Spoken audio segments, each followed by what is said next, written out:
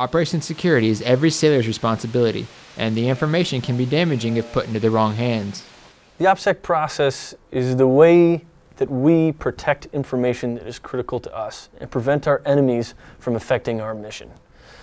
And we can employ this at our house or at our job by ensuring that we are not giving people who we don't trust, who we don't know, information that is important to us, ourselves, our sailors, our Marines, or our mission.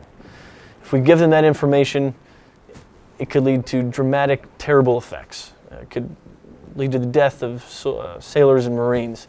It could cause our mission to fail. So the way we can apply OPSEC and protect ourselves and our information is to ensure we know what information is critical to us, our sailors and our Marines, and our mission, and then protecting that information. For more information about OPSEC, visit the Operations Security Facebook page.